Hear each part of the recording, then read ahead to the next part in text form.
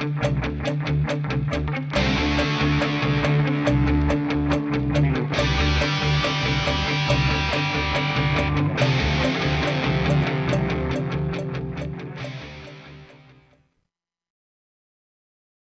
my name is Jared Gull. I work for Juniper Networks in the Education Services Department, and today I'll be sharing a learning byte on the topology independent in-service software upgrade feature associated with the QFX 5100 series switch as well as the EX 4600 series switch.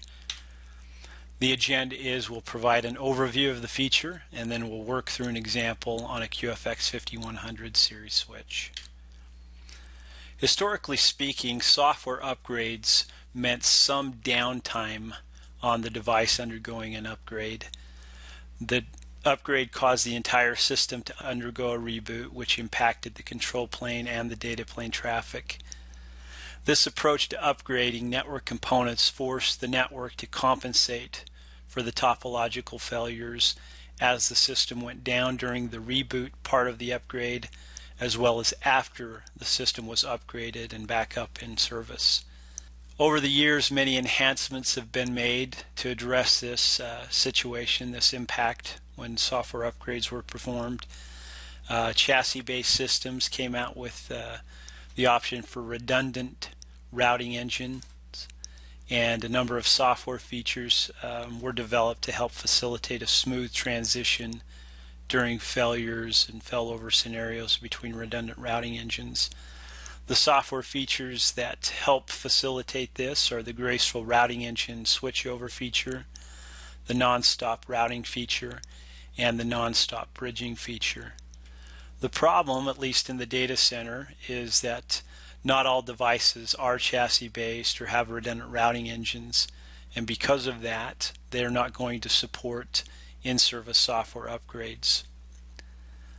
To help overcome that situation um, in the data center with top of rack switches, Juniper Networks has designed a new architecture on some of the switches, including the QFX 5100 and the EX 4600.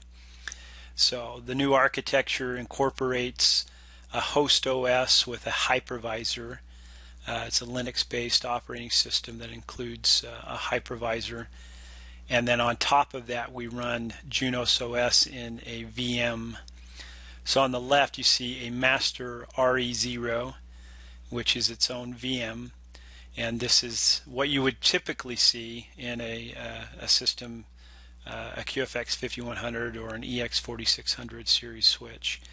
Uh, during the in-service software upgrade, uh, a backup RE shown on the right in the form of VMB spins up and then spins up with the new target image and then a warm transfer of control of the PFE and uh, all of the state information is transitioned between the master RE and the backup RE. Once all of that uh, state transfer has taken place, the backup RE becomes the new master RE and the old master RE ages out.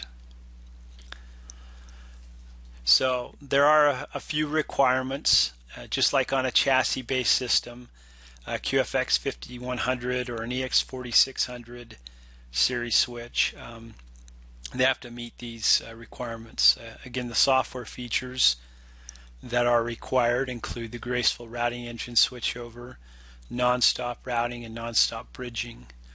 And then of course you need to have access to the target image that you'll be upgrading to.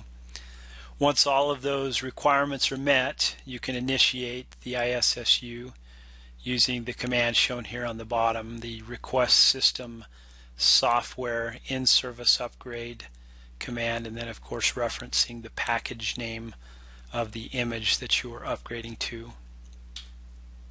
Okay, now we're going to work through an example on a QFX 5100. Let's talk a little bit about the objective and the topology. Uh, we want to perform an ISSU on QFX1, that's the device shown at the bottom, uh, while ensuring little to no impact on transit traffic and protocol peering sessions on the connected devices. So in my environment, I'm simulating some virtual, um, I've configured some virtual routers on a second QFX 5100 device, QFX2. Um, I've got two routing instances configured, VR1 and VR2. Those two routing instances or virtual routers are connected through QFX1 using the interfaces shown there on the slide.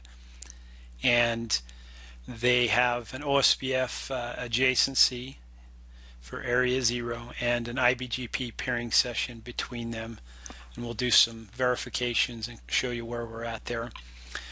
Now QFX1 is currently running the uh, 13.2 X51 D15.5 version and we want to upgrade that using ISSU to the 13.2 X51 D21.1 version shown on the right hand side. So let's minimize that and we'll pull up our devices here. So we've got QFX1 and QFX2.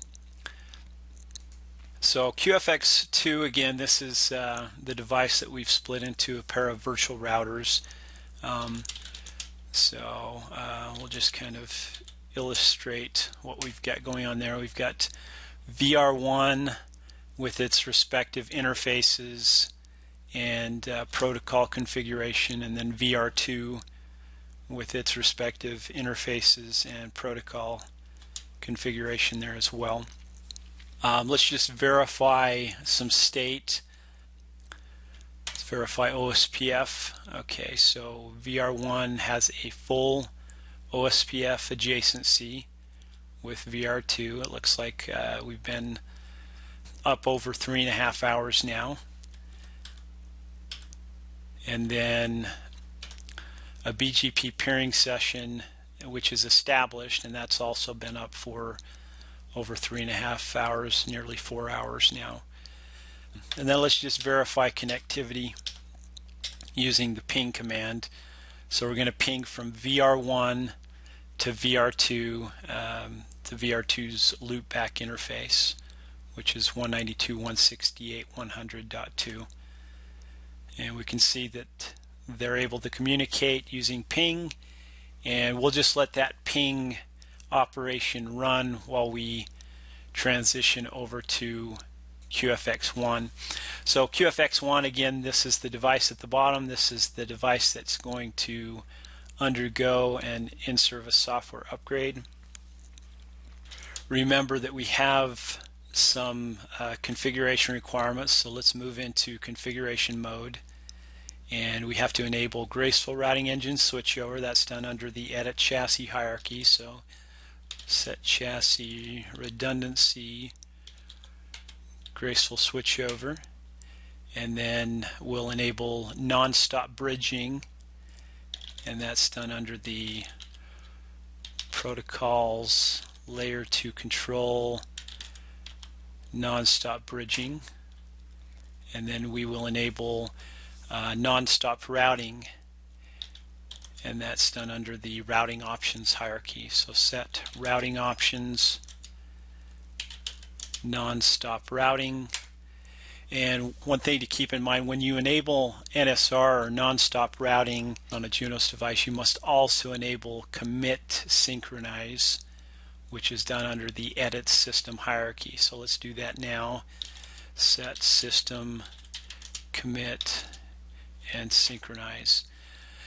So with those configuration statements in place, we should be able to uh, successfully perform an ISSU um, on QFX1. Let's just, before we do that, let's verify our current version. And here we can see that all line items in the show version output are 13.2x 51 D15.5. Um, one thing I want to briefly mention is the bottom line item, the Junos host software. Um, that particular package is not upgraded. That that represents the host OS, and that does not necessarily have to match all the other packages. Uh, the host operating systems likely going to be the same in different uh, versions. So it doesn't really matter if there's a mismatch there when comparing that host software line to the other line items in the output. Um, so again, once we perform the upgrade, you should see all other line items change except for that host software.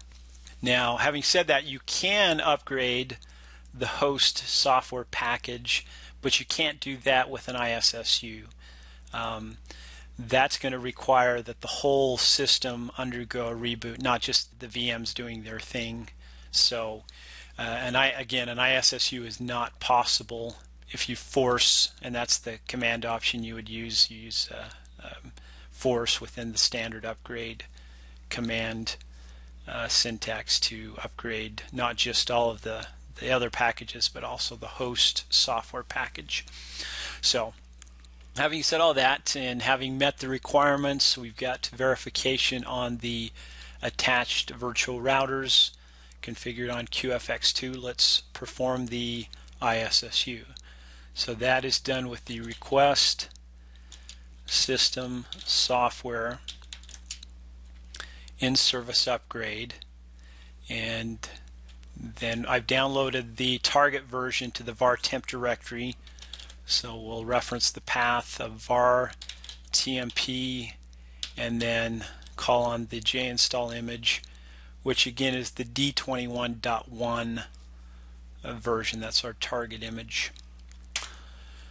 So here we've initiated it with that command and the system will now undergo its uh, upgrade I'll just uh, sit quiet here while we monitor the upgrade process, which is relatively quickly, especially when compared to some other devices running Junos.